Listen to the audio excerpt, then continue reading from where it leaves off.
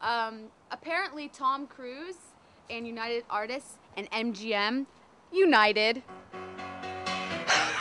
I am back! I am back, baby! Yeah, all right, Tom Cruise. So here's what I'm thinking. I'm thinking that we move your studio, the new UA, to NoHo, because everything's better in the valley. So basically, what this means is there's going to be a whole new thing going on with Tom Cruise. Yeah, we're going to see a lot more of him. Hopefully, more stuff like when he did Jerry Maguire. I'm hoping. But um, I have a few. I have a few ideas for him myself. I am in love with a new studio!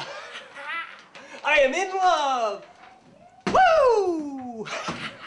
Maybe even for the emblem of MGM, we could change it a little, and I could be like the lion, you know, like the MGM lion, and I could go roar, and and that would be the big change in that.